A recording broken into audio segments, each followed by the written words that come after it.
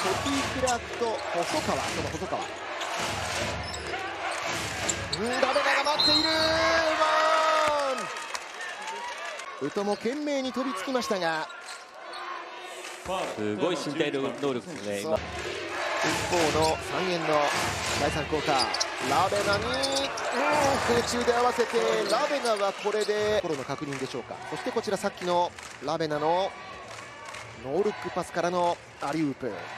トロイ選手がメイディフェンスを自分のマークマン？はい。大浦ラベナやフリーダー。これも決めてくる。たまらず。ラベナが中に入っていってリバースレイアップ昨日ダブルダブルの大浦から一度ラベナへ。ラベナのドライブ。接触なし。いやファールがあってバスケットカウント。このシーンですね。ラベナ選手のドライブに対しておそらく河村選手のね、まあ、プロテクトシューターってやつだと思う。昨日のベンチスコア横浜10点でしたんで。はい。ここもいいパス通ってラベナ。いや大浦が。クラーク対ユトフ。こ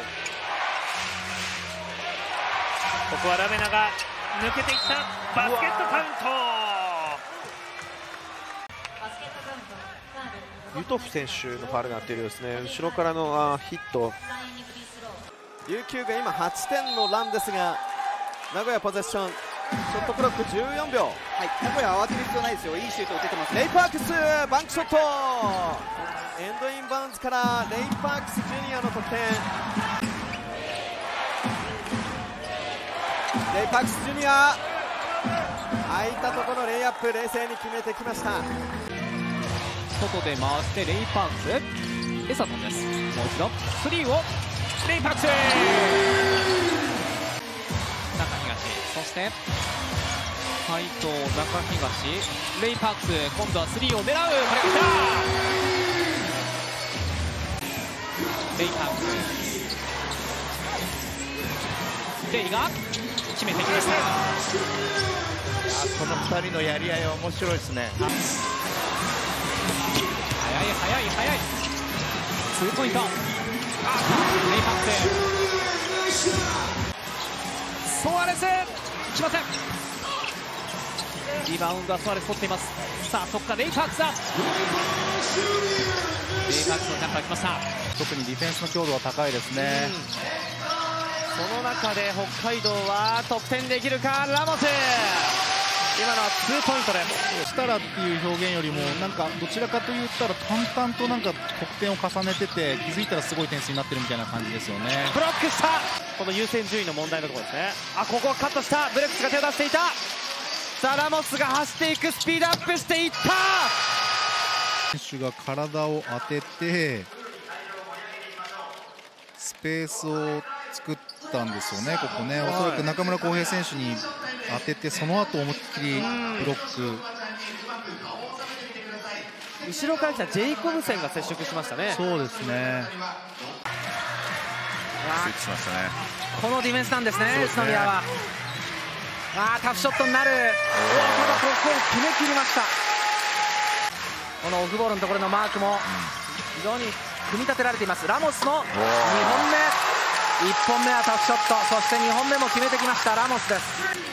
ニュービルから。エドワーズ。おっとここ読んでいた。ドワイト・ラモス。そしてウィリスで前に行くか。自分で行く。はいこのファウルアウトからニュービルがそのコースを見た。ブロック。ショットドワイト・ラモス。その前のこのブロック。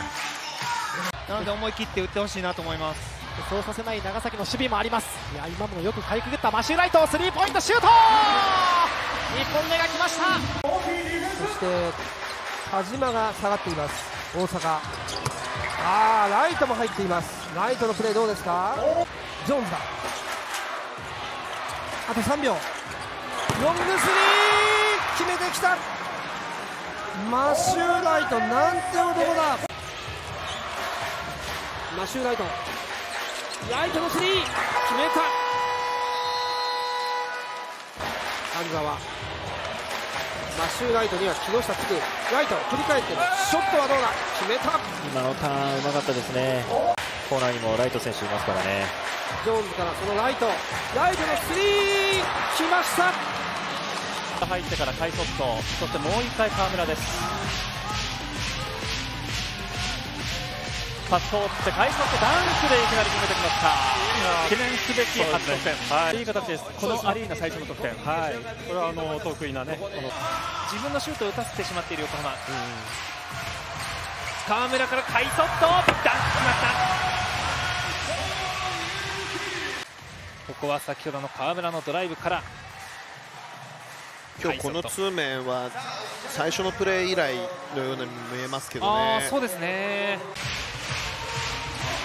河村がパスフェイクからカイソット飛ばしてエンバー河村カイソットライン再び河村選手がいいドライブからね。全部ディフェンダー引き連れ。河村が速いボールプッシュ。中カイソット押されてエンバー。また河村からカイソットライン。これで河村のアシストが2桁10に乗っています。ショットクロック残り4秒。大浦のディープスリー。河村に渡る。うんここもアリウープ。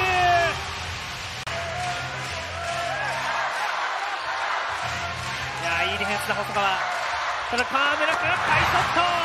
今日1本目のアリウープです。大浦のスリーポイントヤンテメーテン。ここはカイソットがブロックショット。横浜分隊から大きな拍手。今年の2月に選手契約を結びました。マスコ匠です。さあアバリエントスのスリーが来ましたよ。そしてアバリエントス。アバリエントスそのまま行く。いいですね。トラップに来るんですよね。岩手のお箱ですベルアタックからのキックアウト。アダムスのスリーポイントこれです。マーティン2人ついている。マーティンリバウンドアダムスが抑えた。速攻白戸白戸いった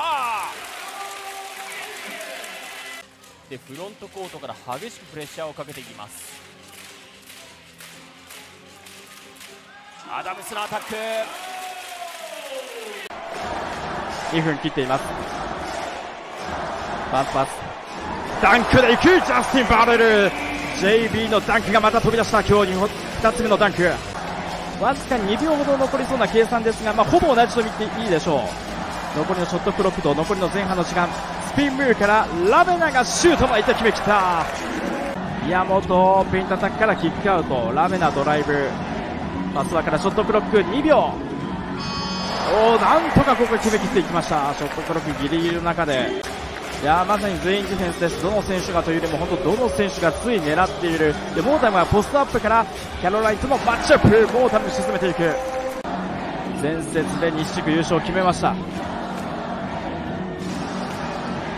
ラメナトップからスリーポイント。ショットクロックギリギリで沈めてきました。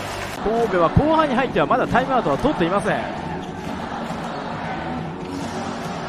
ラベナが前に出ていく。金田も体を張る。ライアン・クリーナーのスクリーンからスリーポイント。キーパーラメナスリーポイント。